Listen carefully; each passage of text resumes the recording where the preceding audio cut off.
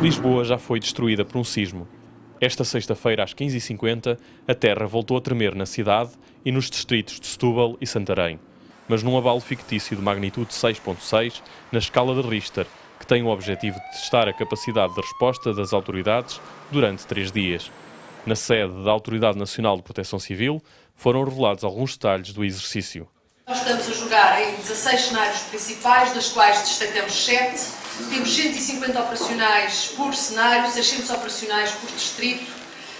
Elementos no posto de comando nacional, portanto na base aérea número 1, vão estar 160 pessoas por dia e nos elementos nos postos de comando distritais e municipais, cerca de 190 pessoas uh, diariamente. Isto, além dos figurantes, dos mortos, dos feridos, dos alojados, faz um total de 4.548 elementos empenhados diretamente neste uh, exercício. Além de vários incidentes em Lisboa, um dos cenários mais complicados aconteceu do outro lado do Tejo, em Porto Brandão.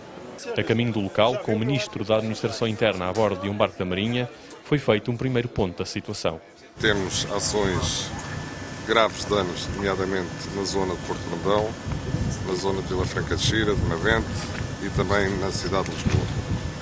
Neste momento estamos a deslocar-nos para uma área em que a única hipótese de se efetuar operações de busca e salvamento é através da deslocação das equipas por via aérea e por via naval, em virtude das fortes uh, que ocorreram nas encostas que, que estão uh, à volta de Porto Brandão tornaram a estrada, que é a única, o único ponto de acesso a, essa, a esse ponto, intransitável, completamente destruída e, portanto, nós temos que desencadear todas as operações utilizando outros meios que não o meio terrestre. Há registro de vítimas neste momento? Neste momento ainda não, não tomei conhecimento do registro de vítimas, sei que há, entre mortos e feridos, já algumas, algumas largas dezenas de, de, de situações desse género. Desembarca-se em Porto Brandão, onde há já várias equipas a trabalhar. É lá que Rui Pereira explica a necessidade do exercício. Nós temos hoje um plano de risco sísmico para a região de Lisboa. Esse plano é da maior importância. Como sabem, Lisboa, para além de ser a região eh, em que está situada a capital política e administrativa do país, é uma região em que vivem muitos portugueses, cerca de um terço, quase um terço da população, perto de 30%.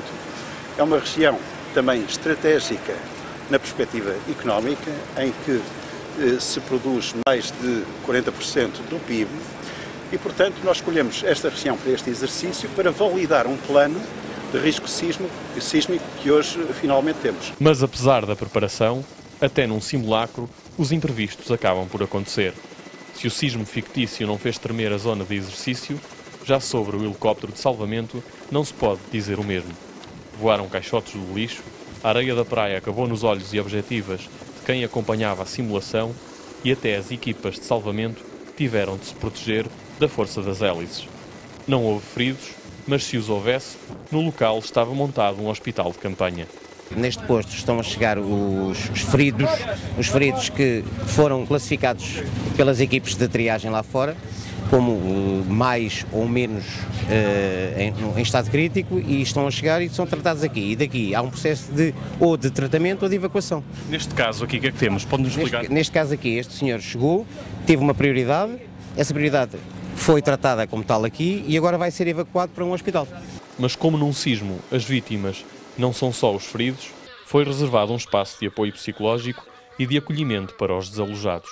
Que situação é que temos aqui neste momento? Nesta situação, isto é uma das, uma das situações que, que está prevista que a Marinha organizou, juntamente com a Proteção Civil, ou seja, para aqui são enviados indivíduos desalojados, ou seja... Estas pessoas ficaram sem casa, é isso? Sem, sem casa, exatamente. São indivíduos que não têm qualquer tipo de... Uh, não precisam de apoio médico. E a quem perdeu tudo, o que é que um psicólogo pode dizer? Só sei o que é que não se diz, que é tenha calma. De resto é um é bocadinho. É o que não se diz, é tenha calma. Isto é aquilo que nunca se deve dizer em situações de crise. Um, depois vai-se ver um bocadinho também do estado da pessoa, se está mais nervoso, se está menos nervoso, como é que está a lidar com a situação, se tem, pessoas, se tem a família perto, se não tem a família perto, depende muito da situação.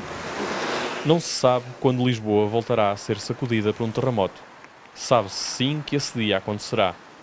E se o ser humano ainda não controla a força da natureza, pode minimizar os seus efeitos, nem que seja aprendendo a lidar com eles com um sismo com data e hora marcadas.